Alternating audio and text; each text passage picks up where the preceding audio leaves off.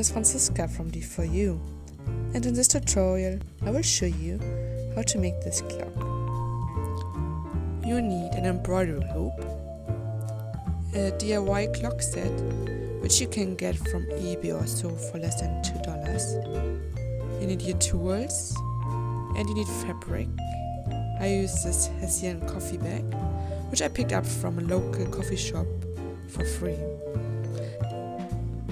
and a piece of carton, which should be the same size as your hoop. First step is to cut out the carton, which will support the clock setup.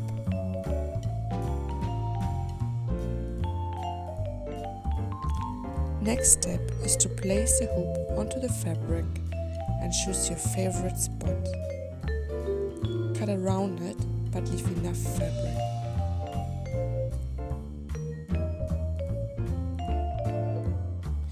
Now you can place the fabric into the hoop and tie it up.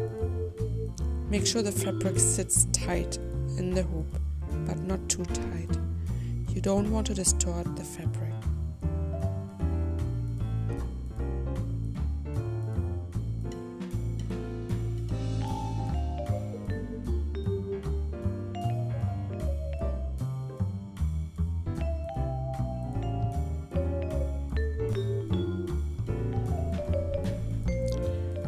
You have to make a hole into the middle of the carton and into the fabric so you can place a clock set and assemble it.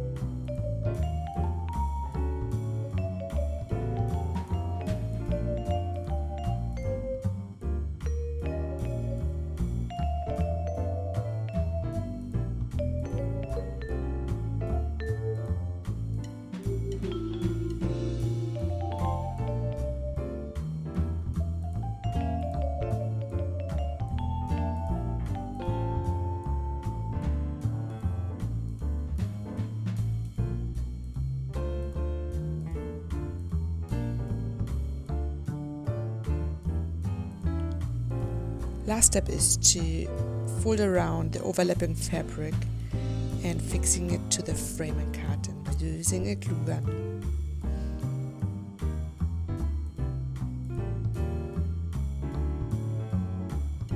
I hope you liked this tutorial.